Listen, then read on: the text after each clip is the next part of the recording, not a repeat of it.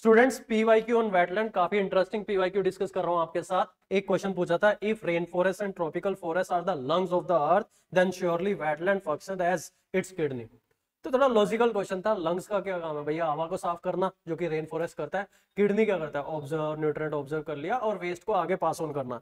तो इसने 2000 यूपीएससी ने 2022 में क्वेश्चन पूछा, चार आंसर ऑप्शंस दिए थे। तो इसमें सीधा सीधा फोर्थ आंसर ऑप्शन देख लो aquatic plant observe heavy metal and excess nutrient तो लाइक किडनी का जो काम है, वो यहीं पे एक मैच हो रहा था और यूपीएससी ने अपनी आंसर की में, जो कि रिसेंटली रिलीज़ किया 2022 की जीएस के आंसर की में, इसका आंसर डी ही मार्क किया है। तो समटाइम्स हमें कॉमन सेंस लगानी होती है और कॉमन सेंस से हमारा आंसर आ जाता है तो इसका आंसर था डी